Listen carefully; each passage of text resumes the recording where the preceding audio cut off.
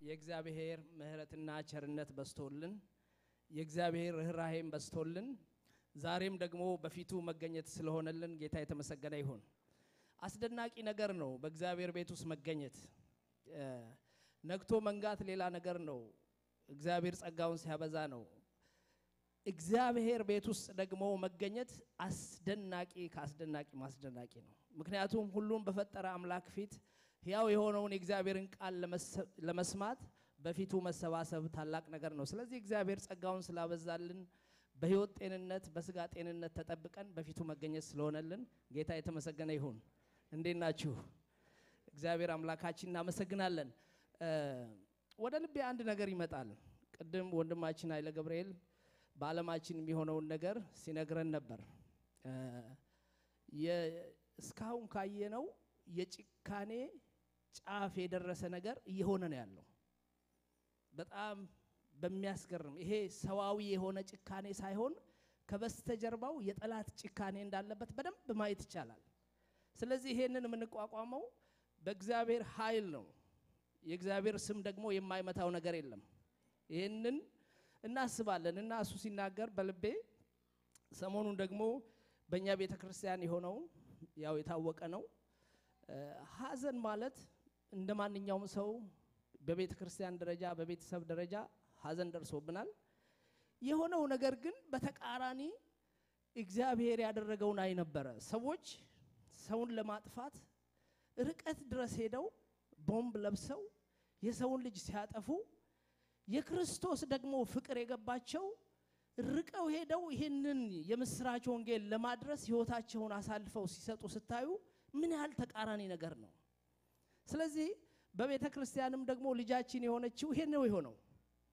እግዚአብሔር ጸጋውን አብዝቶላት ጌታን ከተቀበለችና ከዳነች በኋላ ይሄ የክርስቶስ ፍቅር በእርሷ ሕይወት ውስጥ በስቶ ከዚህ ከተገለጠው ፍቅር የተነሳ መልካሙን ስራ ለመስራት በተለያየ ሁኔታ ውስጥ ስታልፍ እንደነበረ ከታሪኳ እዛ ባዮላ ዩኒቨርሲቲም የነበረውን ceremony አይቼዋለሁ። ብዙዎቹ በእሷ ህይወት ምን ያህል እንደተነኩ ራሳቸውን ለወንጌል እንዴት እንደሰጡ ለዚህ አገልግሎት ራሳቸውን ሰጥተው ሚሽነሪ ሆነው ለመውጣት ራሱ እሷን ከማየት የተነሳ እንዴት እንደተገፋፉ ያንን ያንን ስንሰማ በጣም በጣም በጌታ እንጽናናለን። ጌታን እጅግ አድርገን እናመሰግናለን። ጌታን ልናመሰግን ይገባናል። አናዝንም። ስለዚህ እግዚአብሔርን በዚህ ልናመሰግነው ይገባል።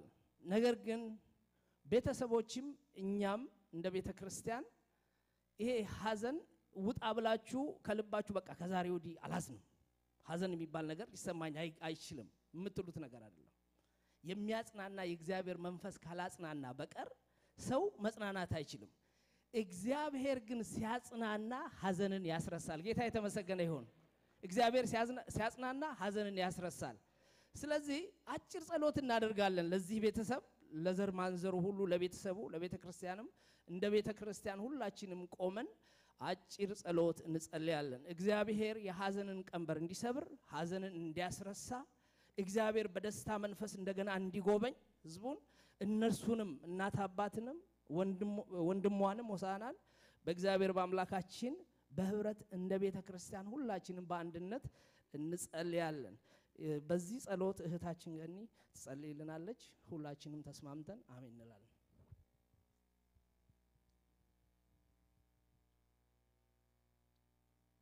ቅዱስና ዘላለማዊ ሆንክ የሰራዊት ጌታ እግዚአብሔር አምላካችንና አባታችን ሆይ እናመሰግንሃለን። ጌታ እግዚአብሔር አምላክ ሆይ ይህቺ ታናሽ ብላቴና እግዚአብሔር ሆይ እኛ እንኳ በእድሜያችን ያልሰራነውን ታላቅ ስራ ይዛ እግዚአብሔር አምላኬ ሆይ ጌታ ሆይ ወደ ጠፉት በጨለማ ወዳሉት ህዝብ ሄዳ እግዚአብሔር አምላክ ሆይ ህይወቷ ደግሞ ወደ አንተ እንዲመጣ ያንተ ፈቃድ ስለሆነ እናመሰግንሃለን። እግዚአብሔር አምላክ ሆይ ቤተሰቦቿንም እግዚአብሔር አምላክ ሆይ ወላጆቿን ቤተ ዘመድን እግዚአብሔር ሆይ በኢየሱስ ክርስቶስ ስም እንድታጽናና እንጸልያለን። ጌታ እግዚአብሔር አምላክ ሆይ ያንተ መንፈስ እግዚአብሔር ሆይ ውስጣቸው ገብቶ ካላጽናና በስተቀር ጌታ እግዚአብሔር አምላክ ሆይ ሰው በራሱ ሊጽናና አይችልምና በፊትህ እንማልዳለን። በዚህ ሰዓት በኢየሱስ ክርስቶስ ስም ያንተ መንፈስ በዚች ደቂቃ ባሉበት ስፍራ እንዲነካቸው በኢየሱስ ስም እንጸልያለን። ቅዱስ እግዚአብሔር አምላክ ሆይ አንተ ትችላለህ። ጌታ ሆይ አንተ ሁሉን ትችላለህ። እግዚአብሔር አምላክ ሆይ በዚህ ሰዓት መንፈስህ በውስጣቸው እንዲገባ እንጸልያለን። ጌታ እግዚአብሔር አምላክ ሆይ ያለችበትን ስፍራ እያሰቡ ጌታ ሆይ ወደ ሙሽራው እግዚአብሔር አምላክ ሆይ ሙሽራይት ሆና እንደሄደች እያሰቡ እግዚአብሔር ሆይ በዚህ እንዲጽናኑ ጌታ ሆይ አንተም ይህንን እንድታሳያቸው በኢየሱስ ስም እንጸልያለን። ጌታ እግዚአብሔር አምላክ ሆይ መንፈስ ቅዱስህን ልከህ በዚህ ሰዓት ጌታ ሆይ ይህንን እያሳያቸው እግዚአብሔር አምላክ ሆይ ውስጣቸውን በደስታ እንድትለውጥ በኢየሱስ ስም እንጸልያለን። ቅዱስ እግዚአብሔር አምላክ ሆይ ኃይል እንድትሆናቸው እንጸልያለን። አባት ሆይ ብርታት፣ ጉልበት እንድትሆናቸው እንጸልያለን። ቅዱስ እግዚአብሔር አምላክ ሆይ መጽናናት መንፈስህ በእነሱ ላይ ስለሚፈስ እናመሰግንሃለን። ጌታ ሆይ ውስጣቸውን በመንፈስ ቅዱስ ስለምትዳስስ እናመሰግንሃለን። ቅዱስ እግዚአብሔር አምላክ ሆይ ታማኝ ለሆንከው አባታችን ላንተ እነዚህን ቤተሰቦች አሳልፈን እንሰጣለን። ጌታ ሆይ ቅዱሳንን ሁሉ ላንተ አሳልፈን እንሰጣለን። ስለምታደርገው እናመሰግንሃለን።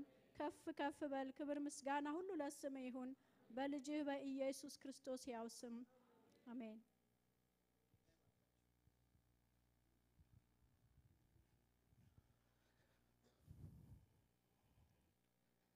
እግዚአብሔር አምላካችን የተመሰገነ ይሁን። በእግዚአብሔር ቤት ውስጥ በመጽሐፍ ቅዱስ ውስጥ ስታዩ አንዳንድ ጊዜ በጌታ ቤት እየኖርን ከእግዚአብሔር ሐሳብ ጋር ተስማምተን እያለ የሚሆነው ነገር ሌላ ይሆንና እኛ የምንጠብቀው ደግሞ ሌላ ይሆናል። በመጽሐፍ ቅዱስ ውስጥ አንድ የእግዚአብሔር ሰው አለ። ሌሎችንም መጥቀስ እንችላለን። የሰቆቃው ኤርምያስ መጽሐፉ ስሙ ራሱ በዕብራይስጥ እንዴት የሚል ነው። እንዴት የሚል ነው። እንዴት ይሄ ሆነ፣ ለምን ይሄ ሆነ የሚል ነገር በብዛት ታዩበታላችሁ። ጥያቄ የፈጠረበት ነገር ነበር። የሚጠብቀው ሌላ ነገር ነው፣ የሚሆነው ነገር ግን ሌላ ነው። ስለዚህ ይሄንን መጽሐፍ እንዴት የሚል ስም ይሰጡታል አንዳንድ ሰዎች። ይሄም የወጣው በአንድ አንድ ላይ ሕዝብ ሞልቶባት የነበረች ከተማ ብቻዋን እንዴት ተቀመጠች? ሕዝብ ሞልቶባት ይተረማመስባት የነበረች ከተማ እንዴት ብቻዋን ሆነች? ጥያቄ ይዞ ሲቀርብ ታዩታላችሁ። እንደገና በአራት አንድ ላይ ወርቁ እንዴት ዳበሰ፣ ጥሩ ወርቅ እንዴት ተለወጠ ብሎ ሲናገር ትመለከታላችሁ። ወርቁ እንዴት ተለወጠ፣ እንዴት ተቀየረ፣ ህዝብ የበዛባት ከተማ እንዴት ባዶ ሆነች፣ ያለውስ ህዝብ እንዴት ተጨነቀ ብሎ ይናገራል። በሌላ ስፍራ ላይ ደግሞ መሳፍንት ስድስት ላይ ስታዩ ጌዲዮን ተጨንቆ ህዝቡ ሁሉ ተጨንቆ ተደብቆ በሚወቃበት ስፍራ ላይ በዋሻ ውስጥ ሆኖ በሚወቃበት ስፍራ ላይ የእግዚአብሔር መልአክ ተገለጠና አንተ ብርቱ ጽኑ ኃያል እግዚአብሔር ከአንተ ጋር ነው ብሎ ሲናገረው እንመለከታለን። እንዴ እዚህ ጋር እኮ እኔ ፈርቻለሁ። እዚህ ሞዓባውያንን ፈርቼ ተደብቄ እየወቃው ነው ያለሁት። እግዚአብሔር ግን በተቃራኒው ነገር ሌላ ነገር ሲናገር እንመለከታለን። አንተ ብርቱ ጽኑ ኃያል ሰው እግዚአብሔር ካንተ ጋር ነው። ልክ ይሄን እንዳለው እግዚአብሔርማ ከኛ ጋር ቢሆን ኖሮ ይሄ ለምን ሆነ? እግዚአብሔር ከኛ ጋር ቢሆን ኖሮ ያ ለምን ሆነ? እግዚአብሔር ከኛ ጋር ቢሆን ኖሮ ይሄ ለምን ሆነ እያለ የጥያቄ አይነቶችን ሲደረድር በዛ ክፍል ውስጥ ትመለከታላችሁ። በእግዚአብሔር ቤት ውስጥ ስንኖር አንዳንድ ጊዜ እግዚአብሔር ለትምህርታችን በተለያየ መንገድ ሊሰራንም ሲፈልግ በብዙ ሁኔታዎች እናልፋለን። የእግዚአብሔርም ቃል ደግሞ ይደግፋል። የጻድቃን መከራቸው ብዙ ነው፣ እግዚአብሔር ግን ምን ይላቸዋል? ያድናቸዋል። የጻድቃን መከራቸው ብዙ ነው፣ እግዚአብሔር ግን ያድናቸዋል፣ ከክፉ ይጠብቃቸዋል፣ ይታደጋቸዋል። ነገር ግን ጻድቃን መከራ የለባቸውም ብሎ ይናገራል እንዴ? አይልም። ነገር ግን ከሌላው የእግዚአብሔርን ሕዝብ ለየት እንዲል የሚያደርገው ነገር ቢኖር ምንድን ነው? እግዚአብሔር ስለሚታደግ ነው። እግዚአብሔር ስለሚያድን ነው። እስቲ በዚህ ሀሳብ ላይ እግዚአብሔር እውነተኛ አጽናኝ ነው በሚል ነው የምናገረው ዛሬ መልእክቴ። አጭር ጸሎት እንጸልያለን።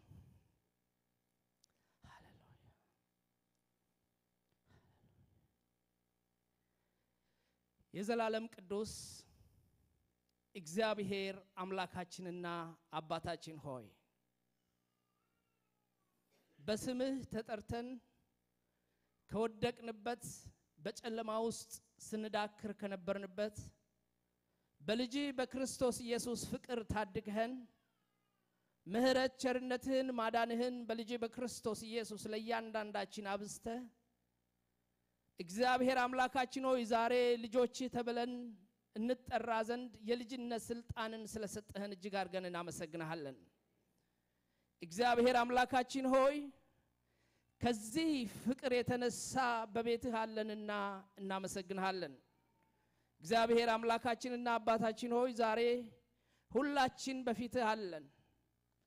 የሚያሳርፈንን በቤትህ የሚያቆመንን ቃልህን ተናገረን። ጊዜውንና ሰዓቱን አንተ ተረከብ። ስለሰማሃን እናመሰግንሃለን። በጌታ በኢየሱስ ክርስቶስ ስም አሜን። ስለዚህ በእግዚአብሔር በአምላካችን ቤት ውስጥ ብንኖርም አንዳንድ ጊዜ ጤንነትን ስንጠብቅ ህመም ያጋጥመናል። ማግኘትን ስናስብ ማጣት ይሆናል። ስኬት ስንጠብቅ አለመከናወን ይሆናል። መረጋጋት ስንጠብቅ ግራ መጋባት ይሆናል። ሰዎች ስለሆን በብዙ ነገር ውስጥ እናልፋለን። ነገር ግን እግዚአብሔር አምላክ ሁል ጊዜ ከህዝቡ ጋር ነው። ጌታ የተመሰገነ ይሁን። ስለዚህ በጌታ ሁል ጊዜ ልንጽናና ያስፈልገናል። በምንም አይነት ሁኔታ ውስጥ እንለፍ፣ እያንዳንዳችን የምናልፍበት የተለያዩ የመከራ አይነቶች ቢኖሩም የእግዚአብሔር ቃል ግን እንደሚናገረው የጻድቃን መከራቸው ብዙ ነው፣ እግዚአብሔር ግን ከሁሉ ያድናቸዋል። መዝሙረ ዳዊት 34 19 ላይ ጻድቃን በመከራ ውስጥ አያልፉም፣ መከራም አያገኛቸውም አልተባለም። ነገር ግን እግዚአብሔር አምላካችን ሁል ጊዜ ከእኛ ጋር ነው። ስለዚህ እውነተኛ አጽናኝ እግዚአብሔር ነው። እውነተኛ አጽናኝ እግዚአብሔር ነው። ሁላችን ብዙ ጊዜ የምናነበውና የምንሰማው የእግዚአብሔር አምላካችን ቃል መዝሙር 23 አራት ላይ በሞት ጥላ መካከል እንኳን ብሄድ አንተ ከኔ ጋር ነህና ክፉን አልፈራም፣ በትርህና ምርኩዝህ እነርሱ ያጽናኑኛል ብሎ ይናገራል። በሞት ጥላ መካከል እንኳን ባልፍ፣ በአስጨናቂ ሁኔታዎች ውስጥ እንኳን ባልፍ አንተ ከኔ ጋር ነህና ክፉን አልፈራም ብሎ ይናገራል ዳዊት። ይሄ ሁላችን ከሚያስደነግጡ ነገሮች መካከል የሰውን ልጅ ከሚያስደነግጡ ነገሮች መካከል አንዱና ዋነኛው ምንድን ነው? ሞት ነው። ነገር ግን ዳዊት በዛ እንኳን ባልፍ፣ በዛ መካከል እንኳን ብሄድ፣ በዛ አስጨናቂ ሁኔታ ውስጥ እንኳን ባልፍ አንተ ከኔ ጋር ነህና ክፉን አልፈራም፣ በትርህና ምርኩዝህ እነርሱ ያጽናኑኛል ብሎ ይናገራል። እግዚአብሔር አምላካችን የተመሰገነ ይሁን። ስለዚህ በእግዚአብሔር ቤት ውስጥ እየኖርን እያለን በብዙ ሁኔታ ውስጥ ስናልፍ ወገኖቻችን ከመካከላችን ሲለዩን፣ ልጆቻችን ሲለዩ፣ አባት እናት ሲለይ፣ የምንወዳቸው ወዳጆቻችን ሲለዩ ልናዝን እንችላለን። ምክንያቱም ሰው ነን። ሐዘን ራሱ ደግሞ ለሰው በሰው ባህሪ ውስጥ ያለ ነገር ነው። በሰው ባህሪ ውስጥ ያለ ነገር ነው። ስለዚህ አይ በቃ እኔ ከሐዘን ውጪ ነኝ ብለን ልንል የምንችልበት ነገር አይደለም። ነገር ግን ለየት የሚያደርገው እግዚአብሔር ሐዘንን የሚያስረሳ መንፈሱን በውስጣችን ያፈሳል። ጌታ የተመሰገነ ይሁን። መከራን የሚያስረሳ የእግዚአብሔር መንፈስ በውስጣችን ዕለት ዕለት በውስጣችን ይመላለሳል። ከዛ የተነሳ በሞት መካከል እንኳን ስናልፍ፣ በሚያስቸግር ሁኔታ ውስጥ እንኳን ስንሄድ ደስ እየተሰኘን እንሄዳለን። ለዚህ ነው የእግዚአብሔር አምላካችን ቃል ሁል ጊዜ በጌታ ደስ ይበላችሁ ብሎ የሚናገረው። ብዙዎች ነገሮች ለጊዜው ሊያስደስቱ ይችላሉ። ብዙ ነገሮች ለጊዜው ሊያሳርፉ ይችላሉ። ለተወሰነ ጊዜ ሰላማችንን አግኝተን ልንመላለስ እንችላለን። ነገር ግን ሁል ጊዜ ደስ ሊያሰኝ የሚችለው ጌታ ብቻ ነው። ጌታ የተመሰገነ ይሁን። አስደናቂ ደስታ በሕይወታችን ውስጥ እንድንለማመድ በአስደናቂው ደስታ ውስጥ እንድንመላለስ የሚያደርገን የጌታ ነገር ነው። የጌታን ፍቅር ስታስቡ፣ ምሕረት ቸርነቱን ስታስቡ፣ ርኅራሄውን ስታስቡ፣ ድንቃ ድንቆቹን ስታስቡ በሕይወታችሁ ሳታውቁት በደስታ ማዕበል ውስጥ ትሰልፋላችሁ። ጌታ የተመሰገነ ይሁን። ይሄ አስደናቂ የእግዚአብሔር ፍቅር ብቻ ነው የሰውን ልጅ ቋሚ የሆነ ደስታ ሊሰጠው የሚችለው። ለዚህ ነው ዳዊት እነርሱ ያጽናኑኛል ብሎ የሚናገረው። በትር እንደምታውቁት የስልጣን ምልክት ነው። የስልጣን ምልክት ነው። ስልጣን ያላቸው ሰዎች ድሮ ጊዜ በትር ይዙ ነበረ። እንደገና ደግሞ በትር እረኛ ሰራዊት የሚያሰማራውን ነገር የሚያሰማራበት ነው፣ የሚንከባከብበት ከክፉ የሚመልስበት ወደ ጥፋት ሊሄዱ ሲሉ ከጥፋት የሚመልስበት። ስለዚህ በትርን በዛ መንገድ ይገልጸዋል። ምርኩዝ ደግሞ የምንደገፍበት ነገር ነው። እግዚአብሔር መደገፊያችን ነው። ጌታ የተመሰገነ ይሁን። እግዚአብሔር ከድካማችን ማረፊያችን ነው። ስለዚህ ነው ዳዊት ይሄንን ብሎ የሚናገረው። በሌላ ክፍል እግዚአብሔር ሕዝቡን አጽናንቷልና ለችግረኞችም ራርቷልና ሰማያት ሆይ ዘምሩ፣ ምድር ሆይ ደስ ይበልሽ፣ ተራሮች ሆይ እልል በሉ ብሎ ይናገራል ኢሳይያስ 49 13 ላይ እግዚአብሔር ሕዝቡን አጽናንቷልና ለችግረኞችም ራርቷልና ሰማያት ሆይ ዘምሩ፣ ምድር ሆይ ደስ ይበልሽ፣ ተራሮችም ሆይ እልል በሉ ብሎ በ49 13 ላይ ይሄንን እግዚአብሔር ይናገራል። ግን የሚገርመኝ ነገር ወረድ ብላችሁ 14 ላይ ስትመለከቱ ደግሞ በተቃራኒው እግዚአብሔር ሕዝቡን ባጽናናበት ጊዜ ይሄንን በተናገረበት ጊዜ ጽዮን ግን እግዚአብሔር ትቶኛል፣ ጌታም ረስቶኛል አለች። በውኑ ሴት ከማጸኗ ለተወለደው ልጅ እስከማትራራ ድረስ ሕፃኗንም ትረሳ ዘንድ ትችላለችን? አዎ እርሷ ትረሳ ይሆናል፣ ሰው ስለሆነች ማለት ነው። እኔ ግን አልረሳሽም እነሆ እኔ በእጅ መዳፍ ቀርጬሻለሁ፣ ቅጥሮችሽም ሁል ጊዜ በፊቴ ነው ብሎ ይናገራል። ጌታ የተመሰገነ ይሁን። እኔ ለዘላለም አልጥልሽም። በቁጥር 13 ላይ ስትመለከቱ እግዚአብሔር ሕዝቡን አጽናንቷል፣ እግዚአብሔር ሕዝቡን አሳርፏል ብሎ አዋጅ ይናገራል። በተለይ ደግሞ በሌላ ስፍራ ጽዮን ግን እግዚአብሔር ረስቶኛል ትላለች። ወዲያው እኮ እግዚአብሔር ረስቶኛል፣ አያስበኝም። ስለዚህ እግዚአብሔር ምን አለ? ምናልባት እናት ልጆቿን ትረሳ ይሆናል ትረሳለችን ብሎ ከጠየቀ በኋላ እሷ ትረሳ ይሆናል፣ እኔ ግን አልረሳሽም፣ በእጆቼ መዳፍ ቀርጬሻለሁ ብሎ ይናገራል። ጌታ የተመሰገነ ይሁን። እግዚአብሔር አምላክ አይረሳም። ወገኖቼ ለጊዜው ይደርሱንላል ብለን እንኳን የምናስባቸው ሰዎች ከቦታ ርቀት ላይ ደርሱልን ይችሉ ይሆናል። ከጊዜ ርዝማኔ ላይ ደርሱልን ይችሉ ይሆናል። ካለባቸው ከራሳቸው ችግር የተነሳ ላይ ደርሱልን ይችሉ ይሆናል። እግዚአብሔር ግን ሁል ጊዜ ከኛ ጋር ነው። ጌታ የተመሰገነ ይሆን። እሱ ከስትንፋሳችን ይልቅ ቅርብ ነው። እኔ አላውቅም እያንዳንዳችን በምን አይነት ሁኔታ ውስጥ እንደምናልፍ። ነገር ግን እግዚአብሔር አምላክ አልረሳህም፣ አልረሳሽም ይላል። ጌታ የተመሰገነ ይሆን። እግዚአብሔር የሚረሳ አምላክ አይደለም።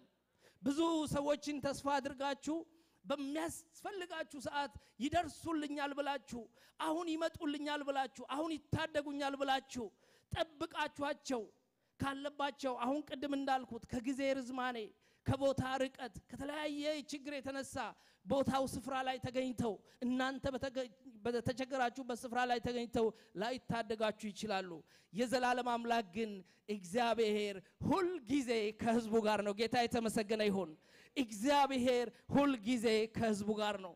ስለዚህ በብቸኝነት ጊዜ የሚያጽናና ጌታ ነው ያለን። በሕመማችን ጊዜ ፈውስ የሚሆነን ጌታ ነው ያለን። ባጣን ጊዜ ማግኘት የሚሆነን ጌታ ነው ያለን።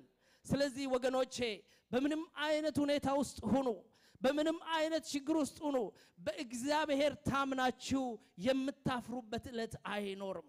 ጌታን አይተነዋል። በብዙ ሁኔታ ውስጥ አልፈን እግዚአብሔር ታማኝ ነው። እኛ እንኳን ባንታመን እግዚአብሔር ታማኝ ነው።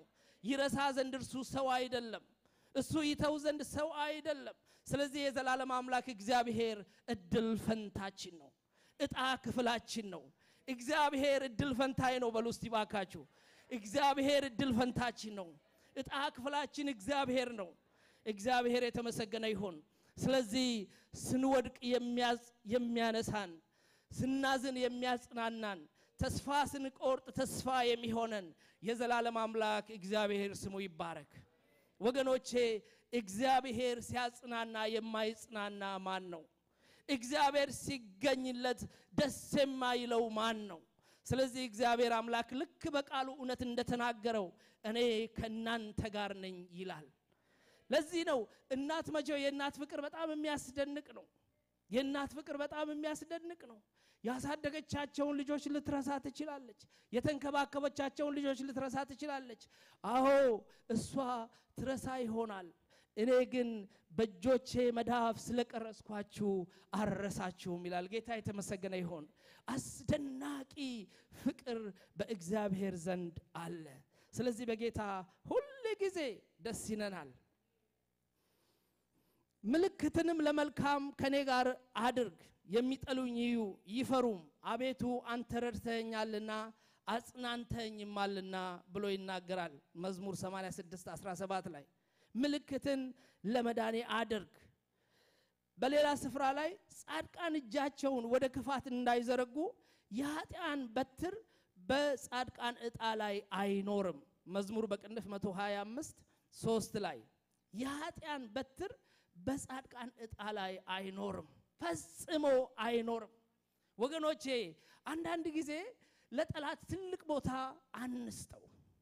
እግዚአብሔር በእኛ እድል ፈንታ ላይ ጠላት እንደፈለገው ይጨፍር ዘንድ እግዚአብሔር እድል አይሰጠውም። ጌታ የተመሰገነ ይሁን። እግዚአብሔር ጥላ ከለላችን ነው። እግዚአብሔር ታዳጊያችን ነው። ስለዚህ እግዚአብሔር በጻድቃን ዕጣ ክፍል ላይ የጠላት ብትር እንዲያልፍ አይፈቅድም ብሎ ይናገራል። ጌታ የተመሰገነ ይሁን። ስለዚህ በእግዚአብሔር ተዘልለን ልንቀመጥ ይገባናል። ምንድን ነው ልዩነቱ? የጠላት ስራ እኛንም የሚያስፈራን የሚያስደነግጠን ከሆነ ሌሎችንም የሚያስፈራ ከሆነ ልዩነቱ ምንድን ነው? ነገር ግን እግዚአብሔር አምላክ ጥላ ከለላችን ስለሆነ እግዚአብሔር ጠባቂያችን ስለሆነ እግዚአብሔር ጋሻችን ስለሆነ እግዚአብሔር መከታችን ስለሆነ የጠላት በትር በድል ፈንታችን በዕጣ ክፍላችን ላይ እንዲወድቅ እግዚአብሔር አይፈቅድም። ጌታ የተመሰገነ ይሁን። ለዚህ ነው ዳዊት በብዙ መከራ ውስጥ እንኳን አልፎ እያለ በብዙ ውጣ ውረድ ውስጥ አልፎ እያለ የእግዚአብሔር ጥበቃ በእርሱ ላይ እንዴት እንደበዛ የሚናገረው። እግዚአብሔር ሳያውቅ አንዳች ነገር እኛን አያገኘንም። ስለዚህ በዚህ ደስ ሊለን ይገባል። ጌታ የተመሰገነ ይሁን። የሰው አጽናኝ አንዳንድ ጊዜ ለድካም የሚዳርግ ሊሆን ይችላል። የእግዚአብሔር ማጽናናት ግን ያበረታናል። የእግዚአብሔር ማጽናናት ግን ያበረታናል። አንዳንድ ጊዜ ያጽናኑኛል፣ ያበረቱኛል ብላችሁ የምታስቧቸው ሰዎች እንክትክታችሁን አውጥተዋችሁ ሊሄዱ ይችላሉ። በቃ ከራሳቸው ማንነት ከምን ከልምምዳቸው ከተለያየ ነገራቸው መጥተው ቁጭ ብለው አጽናናን ብለው በቃ ተስፋ ወርዳችሁ ልታገኙ ትችላላችሁ። ልክ በኢዮብ መጽሐፍ ውስጥ የምታገኙት እንደዚህ ነው። መጡ ሶስቱ ይሉታል። መጽሐፉን ስታነቡ ይነግሩታል፣ ይነግሩታል፣ ይነግሩታል። ብዙ ነገርን ከነሱ ሰማ። እናንተ የምታደክሙ አጽናኞች ናችሁ አላቸው። በቃ ደከማችሁኝ አለ። ከመስማት እንደው ከበሽታው ይልቅ የእነሱ ማጽናናት አድክሞት ቁጭ አለ ብርቱ የነበረውን ሰው። ስለዚህ እግዚአብሔር ሲያጽናና ያበረታል። አንዳንድ ጊዜ ግን አንዳንድ ጊዜ ነው፣ ሁልጊዜ አላልኩም። የሚያበረታ ቃል፣ የሚደግፍ ቃል በእግዚአብሔር ሐሳብ ተመርተው የሚያበረቱንን የሚያጽናኑን ሰዎች በእግዚአብሔር ቤት ውስጥ አሉ። ጌታ የተመሰገነ ይሁን። እነዛን ደስ ብሎን እንቀበላለን። እንደ እግዚአብሔር ቃል የሚያጽናኑን፣ እንደ እግዚአብሔር ቃል የሚያበረታቱን፣ እንደ እግዚአብሔር ቃል አይዞህ አይዞሽ የሚሉ ሰዎች አሉ። ነገር ግን ልክ እንደ ኢዮብ አጽናኞች የሚሆንበትም ጊዜ ይኖራል። ኢዮብ 16 ሁለት ላይ የኢዮብ ጓደኞች ብዙ ከተናገሩት በኋላ ከሰማቸው በኋላ እንዲህ አላቸው፣ እንደዚህ ያለ አይነት ነገር እጅግ ሰማው። እናንተ ሁላችሁ የምታደክሙ አጽናኞች ናችሁ። በውኑ ከንቱ ቃል ይፈጸማልን ብሎ ይናገራል። እናንተ ሁላችሁ የምታደክሙ አጽናኞች ናችሁ። ለየ በውስጡ ያለው ነገር የእግዚአብሔር መንፈስ የለየለት ይመስለኛል። ሰማ ሰማና እናንተ ሁላችሁ ምንም ምንድናችሁ አላቸው? የምታደክሙ አጽናኞች ናችሁ። በጣም ደስ የሚለኝ የኢዮብን ቅንነት የምታዩት እዛ ቦታ ላይ እኔ በእናንተ እግር ብሆን ኖሮ እኔ በእናንተ ቦታ ብሆን ኖሮ ምን ነው ከአንደበቴ ማጽናናት በወጣ ነበር ብሎ ሲናገራቸው እንመለከታለን። የሚገርማችሁ አሁን እንኳን ባለበት ሁኔታ ምን ያህል እግዚአብሔርን የሚፈራ ሰው መሆኑን የምታዩት እኔ በእናንተ ቦታ ብሆን ኖሮ የሚያጽናና ነገር ከአንደበቴ በወጣ ነበር፣ የሚደግፍ ነገር የሚያነሳ ነገር በወጣ ነበር። አይ ይሄ ቁስሌ ይዳንና ንብረቴ ይመለስና ጤንነቴ ይመለስና ልክ ልካችሁን አሳያችኋለሁ አላላቸው። ምንም እንኳን ከቦታው ባይነሳ፣ ምንም እንኳን ያለበት ሁኔታ አስቸጋሪ ቢሆንም፣ ምንም እንኳን ያደከመው ነገር እንዳለ ቢያይም፣ ነገር ግን እኔ በእናንተ ቦታ ብሆን ኖሮ በተቃራኒው ነበረ የምናገረው። የሚያጽናናችሁን ነገር እናገር ነበር፣ የሚያበረታችሁን ነገር እናገር ነበር ብሎ ሲነግራቸው እንመለከታለን። ወገኖቼ አንዳንድ ጊዜ በብዙ ሁኔታ ውስጥ ስናልፍ እንዲህ አይነት ድምፆች የምንሰማበት ጊዜ አለ። በመከራችን ያጽናናናል ብለን የምንጠብቀው ነገር ከማጽናናት ይልቅ እንደውም ተቃራኒ ሆኖ የምናገኝበት ጊዜ አለ። ነገር ግን የዘላለም አምላክ እግዚአብሔር ሲያጽናና እረፍት ይሆንልናል። ጌታ የተመሰገነ ይሁን። የእረፍት አምላክ የሆነው የማጽናናት አምላክ የሆነው ጌታችን ኢየሱስ ክርስቶስ ሲያጽናናን በእውነት ነው እምላችሁ ከድካማችን እንበረታለን፣ ከሐዘናችን እንነሳለን፣ እንቆማለን። ብርታት በሕይወታችን ውስጥ የእግዚአብሔር ቃል ያስቀምጣል። የእግዚአብሔር ቃል ማነቃቃት ማንነታችን ይጀምራል። ከዛ በኋላ እንደ ቀድሞ ከቀድሞም በባሰ ሁኔታ መውጣት መግባት እንጀምራለን። ጌታ የተመሰገነ ይሁን። ስለዚህ ወገኖቼ መጽናናት ከእግዚአብሔር ዘንድ ይምጣ። መጽናናት ከእግዚአብሔር ዘንድ ይምጣ። ድጋፍ ከእግዚአብሔር ዘንድ ይምጣ። በምንም አይነት ሁኔታ ውስጥ ተስፋ በመቁረጥ ውስጥ ያለች ነፍስ ብትኖር እግዚአብሔር አምላክ የማይጥል ጌታ ነው። እግዚአብሔር አምላክ የሚደግፍ ጌታ ነው። ስለዚህ በእርሱ ልንታመን ይገባናል። ያው ከአፌም ነገር ባበረታኋችሁ ነበር የከንፈሬን መጽናናት ባልከለከልኳችሁም ነበር ብሎ ሲናገራቸው እንመለከታለን። ኢሳይያስ 66 ላይ ከ13 እስከ 14 ስታነቡ እናት ልጇን እንደምታጽናና እንዲሁ አጽናናችኋለሁ፣ በኢየሩሳሌምም ውስጥ ትጽናናላችሁ፣ ታያላችሁ፣ ልባችሁም ሐሴት ታደርጋለች፣ አጥንታችሁም እንደ ለምለም ሳር ትበቅላለች። የእግዚአብሔር እጅ ለሚፈሩት ትታወቃለች በጠላቶቹም ላይ ይቆጣል ብሎ ይናገራል። ስለዚህ እናት ልጇን እንደምታጽናና እንዲሁ አጽናናችኋለሁ። በኢየሩሳሌም ውስጥ ትጽናናላችሁ፣ ታያላችሁ፣ ልባችሁም ሐሴት ታደርጋለች፣ አጥንታችሁም እንደገና እንደ ሳር ትለመልማለች ብሎ ይናገራል። እግዚአብሔር ሲያጽናና ነፍሳችን ሐሴት ማድረግ ትጀምራለች። አጥንቶቻችን መለምለም ይጀምራሉ። ተስፋ መቁረጥ ቦታውን እየለቀቀ በተስፋ እንሞላለን። በእግዚአብሔር ሐሳብ መጓዝ እንጀምራለን። በእግዚአብሔር ፍቃድ ውስጥ መግባት እንጀምራለን። እንወጣለን፣ እንገባለን። ብርቱ የሆነው እግዚአብሔር እጆቻችንን ይዞ ይመራናል። ጌታ የተመሰገነ ይሁን። ስለዚህ ከእግዚአብሔር የሆነ ማጽናናት በሕይወታችን ውስጥ ሲመጣ እግዚአብሔር መገኘቱ ሲያገኘን እግዚአብሔር እጆቻችንን ይዞ ሲመራን ወገኖቼ በሚያስደንቀው ሐሳብ ውስጥ መግባት እንጀምራለን። ፍቃዱን መለየት እንጀምራለን። የእሱን ሐሳብ መረዳት እንጀምራለን። አይምሯችን መብራት ማየት ይጀምራል። የሚያስደነግጡን ነገሮች ተራ ነገር ይሆኑብናል። በቃ ተራ ይሆናሉ። አንዳንድ ጊዜ እኮ እኔ እንዴት እንደሆነ አላቅም፣ ሰውን የሚያስደነግጠው ነገር ለሌላው ወይ ኢምንት ይሆንበታል። ምንድን ነው የሚያስፈራ እንኳን ብላችሁ ስትነግሩት አንዳንድ ሰው ስትጠይቁት ምን እንደሚያስፈራው ሲነግራችሁ በጣም ያስቃችኋል። ለዛ ሰው ግን ግዙፍ ይሆንበታል። ለዛች እህት ግን በጣም ትልቅ ተራራ ጠላት አሳክሎ ያሳያል። እግዚአብሔር ግን ማጽናናቱን ወደ ሕዝቡ ሲያመጣ ወደ ልጆቹ ሲያመጣ እነዚህ ያስደነግጡናል ብለን የምንላቸው ያስፈሩናል ብለን የምንላቸው ነገሮች በጣም በጣም ተራ ነገር ሆነው እናገኛቸዋለን። ጌታ የተመሰገነ ይሁን። በመጽሐፍ ቅዱስ ውስጥ ይሄንን ነው የምታዩት። እስራኤልን ሊከብ ሲመጣ ሰራዊት ከተለያየ ስፍራ መጀመሪያ ይፈራሉ።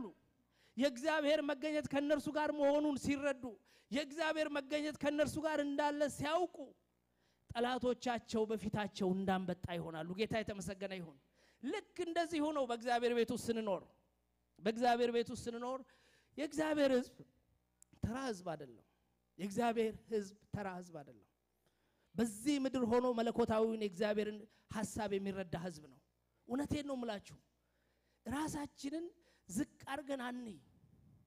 ትህትና ይጉደለል ማለት አይደለም። ነገር ግን እግዚአብሔር ያስቀመጠን ስፍራ አለ። እግዚአብሔር ያስቀመጠን ስፍራ አለ። ከዚህ እግዚአብሔር ካስቀመጠን ስፍራ ወርደን መገኘት የለብንም። በምንም አይነት ሁኔታ ውስጥ ይሁን፣ በግላችን ቢሆን በህብረት፣ በየትኛውም ሁኔታ ውስጥ ስናልፍ እግዚአብሔር ለኛ ያሰበውን እግዚአብሔር ለኛ ያለውን ፍቃዱን እያየን በእግዚአብሔር ደስ እያለን ልንወጣና ልንገባ ይገባናል። ጌታ የተመሰገነ ይሁን። ምክንያቱም አጽናኝ የሆነው ጌታ ከኛ ጋር ስለሆነ እርሱ ከኛ ጋር ስላለ እንዴት ይል የነበረው ቅድም በመጽሐፍ ቅዱስ ውስጥ ሰቆቃ ኤርምያስ ላይ አንድ አንድ ላይ እና አራት አንድ ላይ እንዳየ ነው።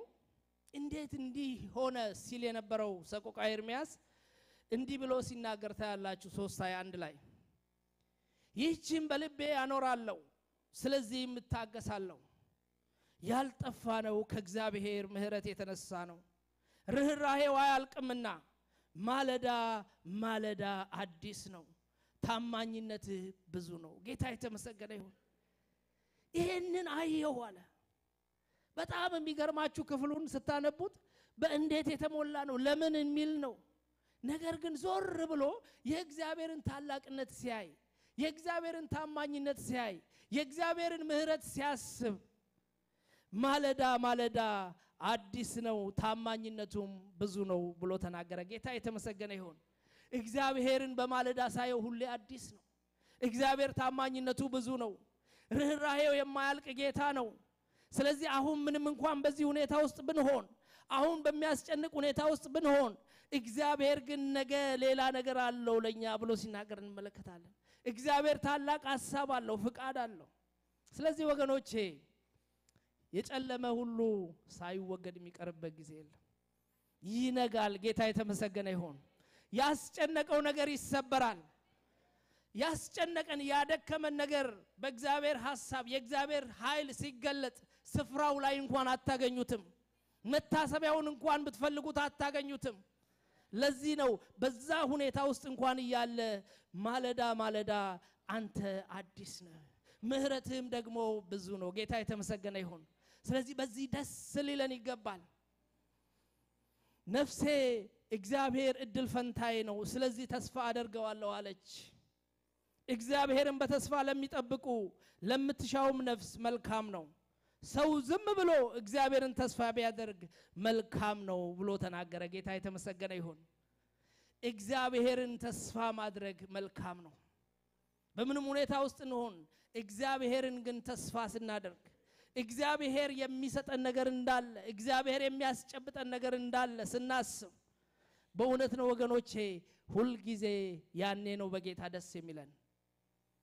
ሌላው እንኳን ቢቀር በዚህ ምድር እንኳን ሁኔታዎች ባይሳኩ ባይከናወኑ የዘላለም እድል ፈንታ ያለን ሰዎች ነን እኮ። ጌታ የተመሰገነ ይሁን። የዚህኛውን ዓለም በዚህ ዓለም ላይ የምንኖረውን የእድሜ ርዝማኔ ከዘላለሙ ጋር ስታስቡት ኢሚንት ያህል ነው። ምንም ማለት አይደለም። ምንም ማለት አይደለም።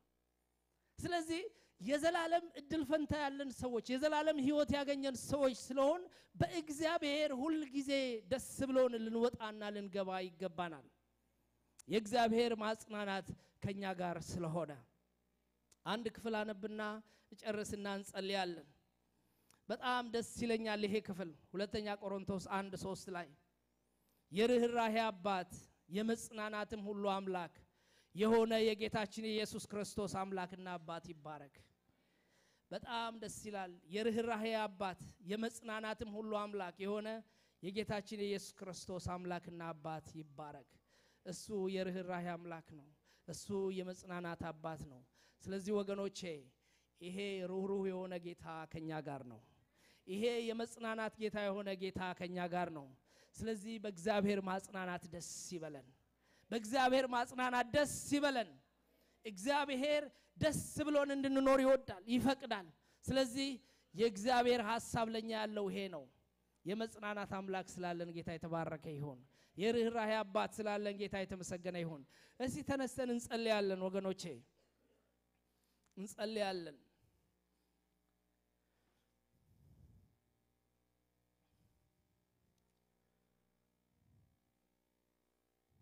በእግዚአብሔር በአምላካችን ፊት ልባችንን እናሳርፋለን። ርፍ እንላለን። በእግዚአብሔር በአምላካችን ፊት ሰብሰብ አድርገን ምንም ነገር አናስብ። አሁን የእግዚአብሔር ኃይል፣ የእግዚአብሔር ሀሳብ፣ የእግዚአብሔር ፍቃድ እንዲያገኘን ወገኖቼ። እግዚአብሔር ሲያጽናና የማይጽናና ማን ነው? እግዚአብሔር ሲገኝለት ደስ የማይለው ማን ነው? ስለዚህ የእግዚአብሔር መገኘት በመካከላችን አለ። በዚህ ደስ ይለናል። ስለዚህ ያለንበትን ሁኔታ ሁሉ እንረሳና እግዚአብሔር አንተ መጽናናቴ ነህ፣ አንተ በእኔ ውስጥ ያለ ዓላማ መልካም ነው፣ በጎ ነው፣ ፍቅር ነው። ስለዚህ በአንተ ደስ ይለኛል እንለዋለን ጌታን። በእግዚአብሔር ደስ እያለን እንጸልያለን። ፓስተር ግርማ ይጸልይልናል።